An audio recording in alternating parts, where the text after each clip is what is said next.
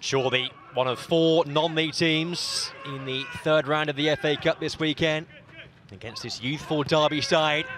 Derby are through here. It's Cameron and Cresswell in behind, and Matt Urwin makes a very smart save there for Chorley. Well, Cresswell claiming he may have been fouled there, but that's good work by the goalkeeper. Cresswell, 21 years of age, one of Derby's older players in the game today. Corner for Chorley. Up towards Cardwell, who won the first header. He might be turned in. Here it is! It's a goal for Chorley from Connor Hall. 10 minutes gone.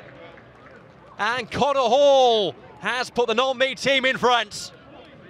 There's a yellow card there for Cresswell for a handball on the goal line. But it was just about steered in by Connor Hall.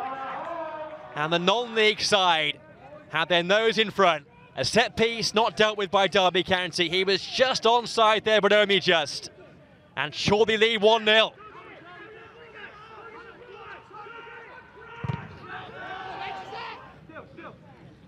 Set pieces, a, a real area of threats for Chorley. One from this near side this time, taken by Tomlinson. It's gone beyond Cardwell that time. Shenton's here with a chance. On the half volley. Not the easiest one that for Ollie Shenton. Difficult one to keep down, but that Derby defence living dangerously.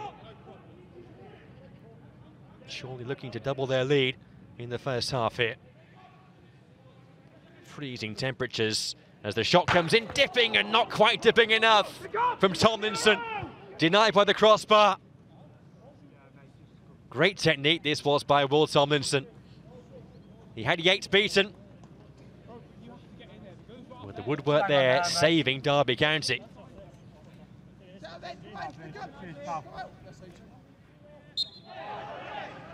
Derby who won the cup 75 years ago, but missing all their first team players today. They could be in trouble here. It's a bending effort from Connor Hall, but Matt Yates got down to that really well. Just after half time, smart save. This may well have been curling in from Hall. It's Chorley, the team who are posing all the questions today.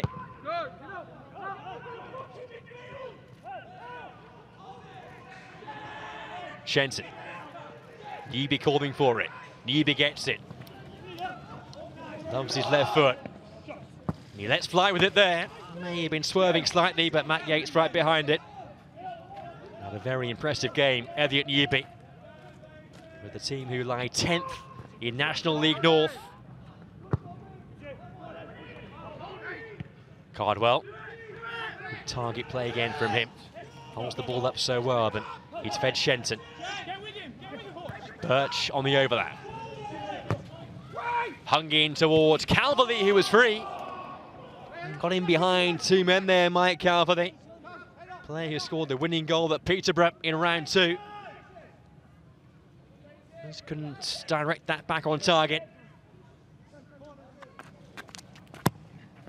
Here's the corner. Oh, and Cardwell's coming in, looking to bundle the ball in, but it's turned away by Hutchinson, Derby's captain.